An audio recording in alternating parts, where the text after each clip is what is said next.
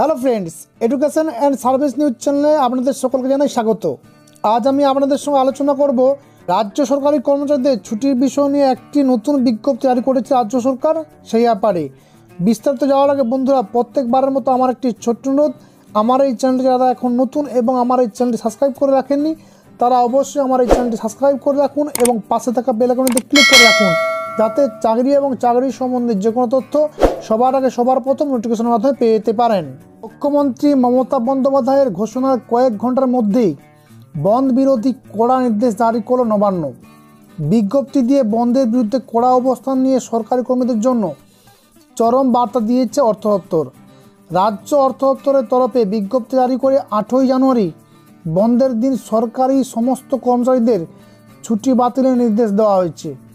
বন্ধের দিনে কাজে যোগ না দিলে বেতন সহ কর্মজীবন থেকে একটি দিন কেটে নেওয়া হবে বলেও জানানো হয়েছে এই বিজ্ঞপ্তিতে। আটই জানুয়ারি হাজিরা বাধ্যতামূলক করে জারি হয়েছে এই এই বিজ্ঞপ্তি।